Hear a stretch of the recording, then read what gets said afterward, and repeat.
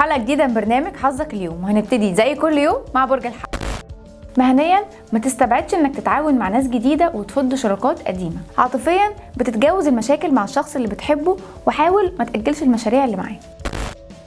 برج الثور مهنيا هتتخلص من الضغوط الكبيرة اللي عليك وهتقدر تتعامل معاها وتخلص كل مشاكلك. أما عاطفيا فالمواضيع الكتير اللي هتفتحها النهارده وهتتكلم فيها مع الشخص اللي بتحبه هتقدر تستفيد منها كلها. برج الجوزاء. مهنيا التزم بوعودك اللي قلتها لزمايلك في الشغل وما تتهربش من مسؤولياتك. عاطفيا بتحاول إنك تهتم وترضي الشخص اللي بتحبه لكنه مش مديك أي اهتمام. برج السرطان. مهنيا النهارده هيتعكر مزاجك بسبب تأجيلات كتيرة في الشغل.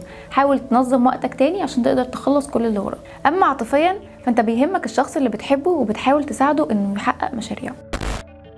برج الأسد. مهنيا احمي مصالحك وابعد عن المشاكل وركز في شغلك بس. عاطفيا مش غلط إنك تعتذر لو عملت حاجة غلط. الغلط اللي عنده والمجابرة. برج العذراء. مهنيا ابعد المشاكل العائلية عن المشاكل في الشغل عشان تقدر تعدي اليوم. أما عاطفيا فأنت لو مش مرتبط احتمال النهارده تقابل شريك حياتك.